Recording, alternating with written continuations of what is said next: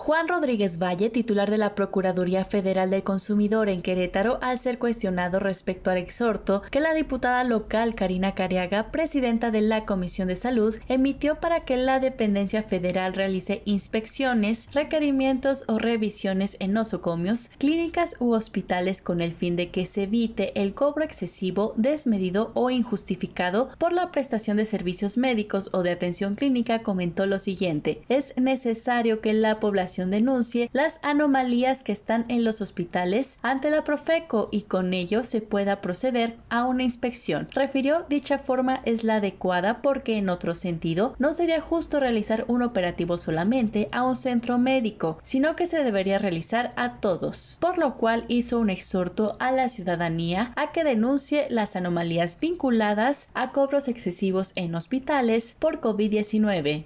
Cuestión de un exhorto, pues bueno, Profeco trabaja de la siguiente manera. Eh, es cuestión de, una denuncia. Nosotros necesitamos que la población denuncie, los consumidores denuncien las anomalías que se encuentran en esos hospitales para nosotros acudir. Este, con todo gusto este, atendemos este exhorto que nos está, eh, bueno, hasta ahorita ha sido una noticia que por ahí ha estado circulando, platicamos, pero yo sí quisiera que mejor hubiera la denuncia. No quisiera, sino es el medio adecuado para poder atender este tipo de, de anomalías. El motivo del exhorto residía en una preocupación que tiene la ciudadanía de contar con familiares que deban ingresar a hospitales privados para atenderse y deban enfrentarse a pagarés o depósitos en garantía de más de 150 mil pesos para que puedan ser atendidos por COVID-19. Sin embargo, Juan Rodríguez Valle mencionó que ante la Profeco no existe alguna denuncia o queja vinculada a un mal servicio o cobros excesivos por dicha enfermedad. Imágenes de Manuel Tobar. Informó Aurora Vizcaíno Ruiz, Noticias RTQ.